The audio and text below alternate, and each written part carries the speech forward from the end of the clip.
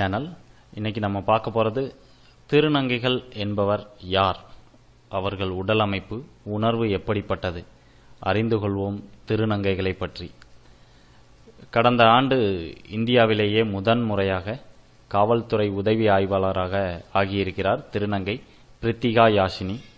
இதையடுத்து சமூக வலைத்தளங்களில் பலரும் அவரது படங்களை பகிர்ந்து வாழ்த்து சொல்லிக் கொண்டிருந்தோம் ஆனால் நேரில் திருநங்கைகளை பார்க்கும்போது நம்மில் எத்தனை பேர் அவர்களை மரியாதையுடன் பார்க்கிறோம். இதற்கு காரணம் திருநங்கைகள் பற்றிய புரிதல் இல்லாததே. நம் குடும்பத்தில் கூட திருநங்கைகள் இருக்கலாம் உருவாகலாம். மூன்றாம் பாலினமான அவர்களை பற்றி முழுமையாக தெரிந்து கொள்வதே இந்த வீடியோ. காலம் காலமாக கோசா ஒன்பது அலி அரவாணி என்று பல்வேறு தரப்பட்ட அருவருக்கத்தக்க பட்ட பெயர்களில் அழைக்கப்பட்டு வந்தவர்கள் சமீப காலமாகத்தான் பொருத்தமான திருநங்கை என்ற பெயரில் அழைக்கப்பட ஆரம்பித்தனர். திரு ஆண்மகன் நங்கை பெண்மகள். திருநங்கைகளை பற்றி சுருக்க தெளிவாக சொல்ல வேண்டுமானால் ஆணாக பிறந்து பாலின உணர்வை பெறும் வயதில் குரோமோசோம் குறைபாட்டால் மனதளவில் மட்டுமே பெண்ணாக உணர்ச்சி மாற்றம் அடைபவர்கள் எனலாம். முதலில் ஒரு விஷயம் இது அவர்களே வேண்டுமென்று நினைத்து மாறுவதில்லை. இது விடை சொல்ல முடியாத இயற்கையின் விளையாட்டு.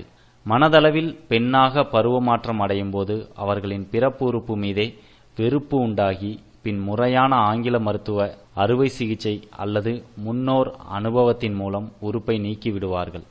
உண்மையான ஆணுக்கு உறுப்பை நீக்கிவிட்டால் அதோடு அவர் மரணமடைய வேண்டியதுதான். ஆனால் திருநங்கைகளுக்கு அப்படி இல்லை. இதிலிருந்தே இவர்களது மாற்றம் இயற்கையின் விதிவசத்தால் நடப்பது என்பதை அறியலாம். மனதளவில் பெண்ணுக்குரிய உணர்வுகள் இயல்பாகவே வந்துவிடுவதால் பெண்களைப் போலவே ஆடை அலங்காரம் ஆகியவற்றை செய்து கொள்வார்கள். திருநங்கைகளோ ஆண் என்ற உடம்பில் பெண்ணுக்குரிய உணர்வுகளை அடக்கி வைத்திருந்தவர்கள். அந்த அடக்கி வைத்த உணர்வுகளை வெளிப்படுத்தும் போது கொஞ்சம் அதீதத்தன்மை இருக்குமல்லவா? அதுதான் அவர்கள். ஓவர் மேக்கப் போட்டுக்கொள்ள காரணம் இதை நாம் புரிந்து கொள்ளாமல் அவர்களை அருவருப்புடன் வித்தியாசமாகவும் பார்க்கிறோம். சமுதாயத்தின் புறக்கணிப்பின் காரணமாகவே வேறு வழியின்றி அவர்கள் பாலியல் தொழிலை தேர்ந்தெடுக்க வேண்டியிருக்கிறது. பெண் தன்மை உடலில் குடிகொண்டிருப்பதால் இயல்பாகவே இவர்களின் மார்பகமும் பெண்களைப் போலவே கொஞ்சம் பெரிதாகிவிடும். அப்படியே ஆகவில்லை என்றாலும் கூட மருத்துவ முறையில் பெரிதாக்கிக் கொள்கிறார்கள். மனதளவில் பெண் தன்மை குடிகொண்டிருப்பதால் எதிர்பாலினமான ஆண்களின் ஆதரவுதான் அவர்களுக்கு தேவைப்படுகிறது. ஆகவேதான் ஆண்களை சீண்டுகிறார்கள்.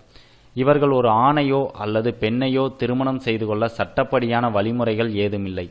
அப்படி திருமணம் செய்து கொண்டால் அது ஒன்று ஹோமோ அல்லது லெஸ்பியன் அல்லது மனித இனம் மிருக இனத்துடன் கொள்ளும் உடற்புணர்ச்சி என்ற வகை. பாலியல் உறவாக கருதிய இச்செயலை இந்திய தண்டனை சட்டம் ஆயிரத்தி எண்ணூற்று அறுபதின் பிரிவு முன்னூற்றி எழுபத்தி ஏழின் கீழ் இயற்கைக்கு மாறான புணர்ச்சி என்ற வகையில் தண்டிக்கத்தக்க குற்றமாக சொல்லப்படுகிறது. இந்த நிலை மாற வேண்டும். அன்பிற்காகவும் பாதுகாப்பிற்காகவும் ஆண்களை நாடும் திருநங்கைகளின் பலவீனத்தால் இவர்களின் உழைப்பில் உண்டு கழித்து குடித்து கும்மாளமிடும் ஆண்களும் இருக்கிறார்கள். திருநங்கைகள் இயற்கையாக எவ்வளவு பிரச்சனைகளை சந்திக்க வேண்டியிருக்கிறது என்பதை ஓரளவு புரிந்திருப்பீர்கள். அது மட்டுமல்ல குடியிருப்பு வேலைவாய்ப்பு ஏன் கழிப்பிடம் கூட அவர்களுக்கு ஒரு பிரச்சனைதான். சரி இப்போது தற்போதைய சம்பவத்துக்கு வருகும் நீதிமன்றம் உத்தரவிட்ட பிறகும் திருநங்கைகள் காவல்துறைக்கு ஏற்றவர்களா என்று பலரும் கேள்வி எழுப்பி- எழுப்புகிறார்கள். ஆண் பெண் காவலர்களை விட இவர்கள் சிறந்தவர்களாகவே இருப்பார்கள் என்று எங்களுடைய கருத்து. பிறப்பால் ஆண் என்பதால் உடல் வலிமை மிகுந்திருக்கும். மனதளவில் பெண்களின் குணம் என்பதால் ஓரளவுக்காவது இரக்க குணம் இருக்கும். குழந்தை பிறக்க வாய்ப்பில்லை என்பதால் பிள்ளைகளுக்காக தவறான வழியில் சொத்து சேர்க்க கை நீட்ட மாட்டார்கள். திருநங்கைகளுக்கு ஆண் பெண்ணுக்குரிய குடும்ப பொறுப்பு என்கிற சுமை கிடையாது என்பதால் காவல் கடமையில் முழு கவனமாய் திறம்பட செயல்படுவார்கள்.